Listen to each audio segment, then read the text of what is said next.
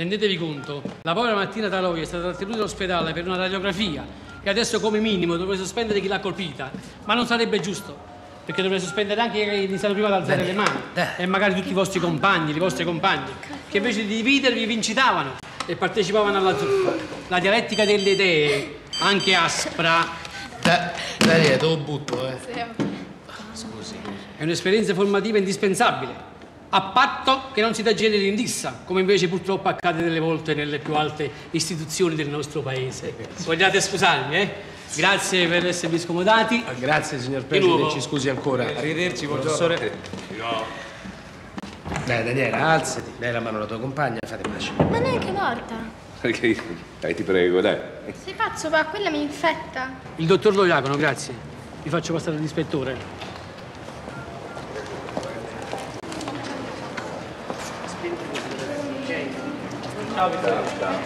Dov'è che ci siamo incontrati noi in una trasmissione televisiva? Un dibattito noiosissimo. Eh, tra l'altro. Ah, poi ti volevo dire che ho letto quel tuo ultimo articolo la settimana scorsa e ho trovato insomma, degli spunti molto interessanti. Ah, sì, mi devo preoccupare allora. Eh, anch'io un po' allora.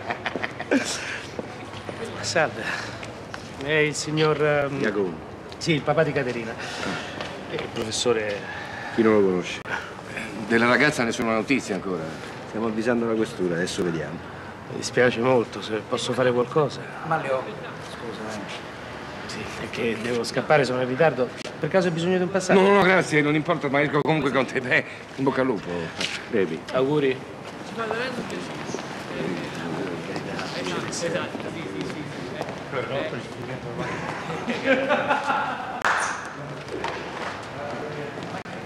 Mandano una volante, saranno qui tra poco.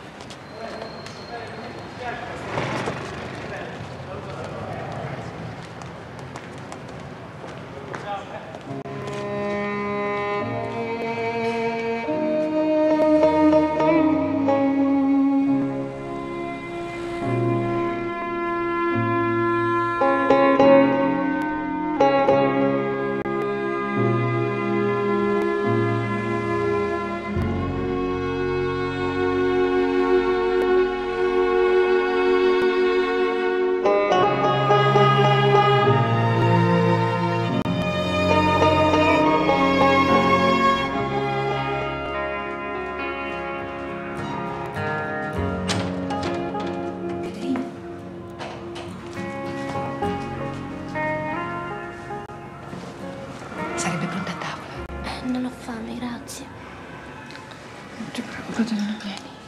Ti prego.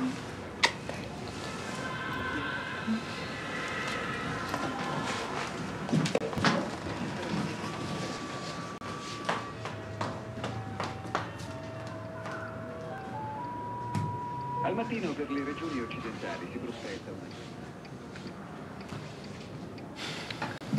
Devo chiederti scusa, Caterina. Papà ti capisce benissimo. Non è colpa tua, sai. Tu sei come me.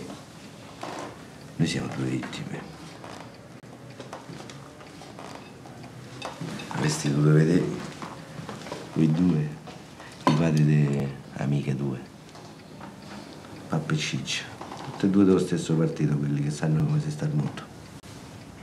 E figlie, amiche tue. Fatte con lo stampino.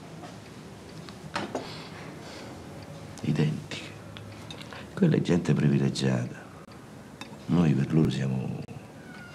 siamo niente. Giancarlo, No, stavolta fammi parlare.